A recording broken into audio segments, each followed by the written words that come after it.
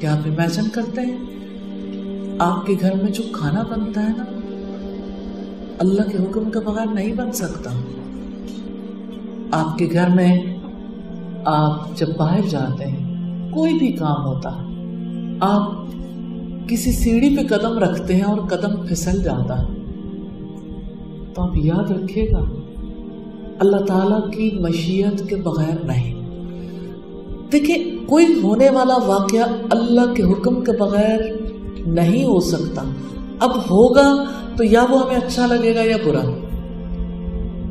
یا ہمارے حق میں ہوگا، یا وہ ہمیں اس کی وجہ سے نقصان ہو رہا ہوگا۔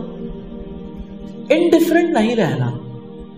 جب آپ سوچیں گے تو آپ کو اس میں یا نفع نظر آئے گا یا نقصان۔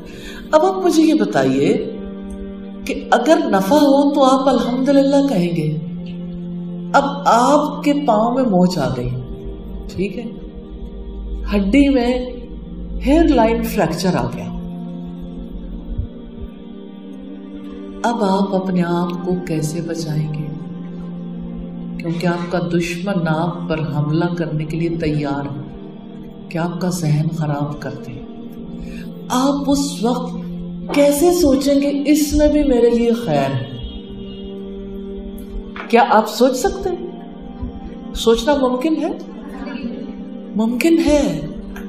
بھائی، مجھے نہیں پتا نا، میرے لیے کیا خیر ہے۔ اگر کوئی واقعہ میرے ساتھ پیش آتا۔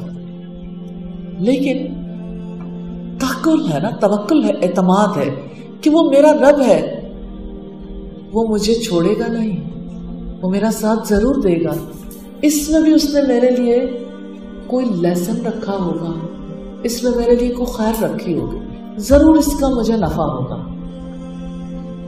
لیکن انسان کو سمجھ نہیں آتی کہ میرے لیے، وہ کہتے پہلے مجھے سمجھ آئے کون سی خیر ہے۔ تو اعتماد کرنے والے کو اس سے کوئی کنسرن نہیں ہوتا کہ مجھے سمجھ آئی ہے یا نہیں آئی۔ وہ کہتے میرے رب نے مجھے اس صورت حال میں رکھا ہے۔